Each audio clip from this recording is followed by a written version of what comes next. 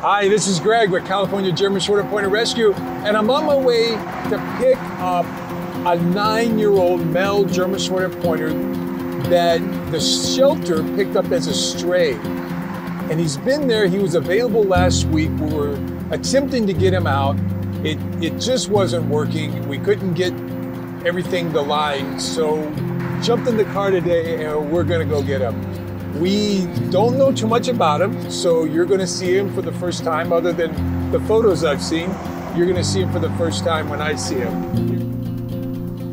Just got to the shelter. We're going to go in and check out this nine year old GSP.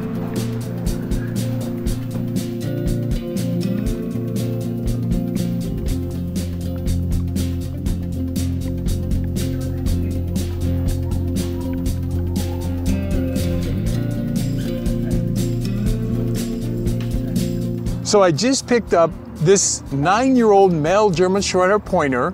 Uh, we thought he was a stray, but he was actually an owner relinquishment, and which is really, really sad when you see people surrender their nine-year-old dogs. You think about where they've been all their life.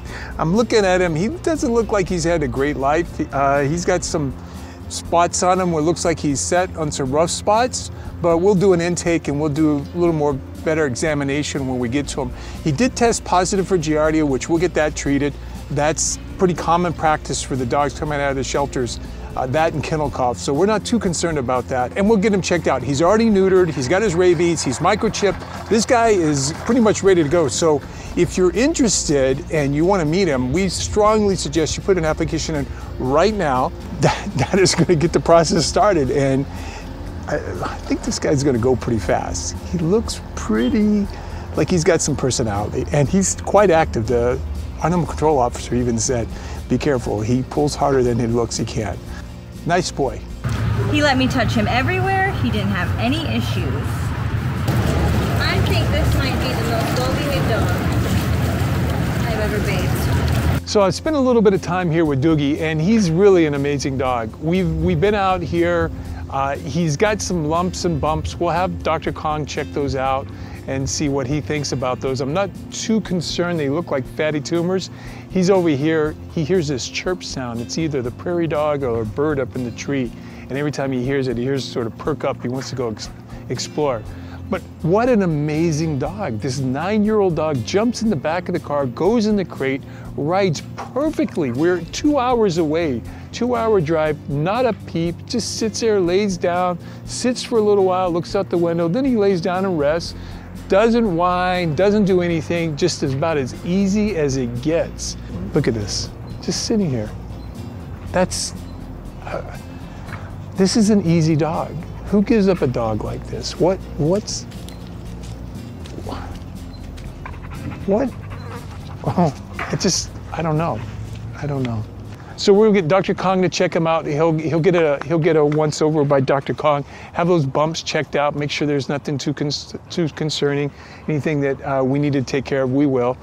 Uh, if it's cosmetic, we're going to leave it. We're not going to mess around. That's something that if he has, he's put under later on for some type of surgery or something, they can take those off. Dr. Kang would. That's the most economical and safest way for his health.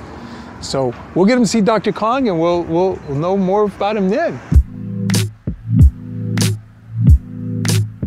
So we just got done at Dr. Kang's office and he signed off on Doogie. So we're all good? Yeah, we're all good. He thought that the protrusion or the rib cage here might have had some trauma, previous trauma. He said is possibly broken the way it is uh, protruding out, and he goes the way it's curved. Some broken ribs. Is that broken ribs? Yeah, here. One is a straight, one is a crooked. He goes, that's an indicator that it looks like it had been previously broken. So there was a little bit of trauma at some point. Uh, other than that, he's like real happy. We had a Giardia test done because the shelter had said that they tested positive with a visual Giardia test. We're not sure what that is, but he is negative on Giardia. Single dot right here means he's negative. So no Giardia. Yeah. And he is a big boy, just under 70 pounds. Very sweet guy. Very, very sweet. He's really something else.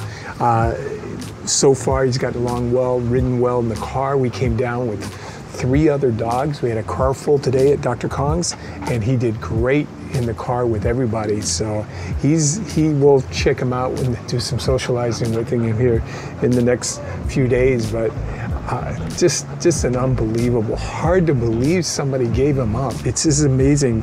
He seems to know like how to maneuver inside the house. He uses his nose to open doors.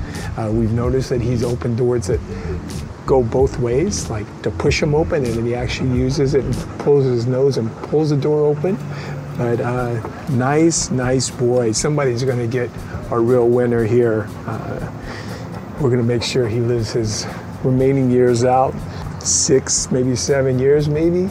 Who knows? He's nine, he could live to 15, 16. If you're interested in uh, applying to adopt, please click and put the application in. There'll be something down in the description. If you can't adopt and you want to help, please share share this video. Like and share the videos and the post on the dogs that helps them find homes. Somebody's looking for those dogs. We're 100% certain of that.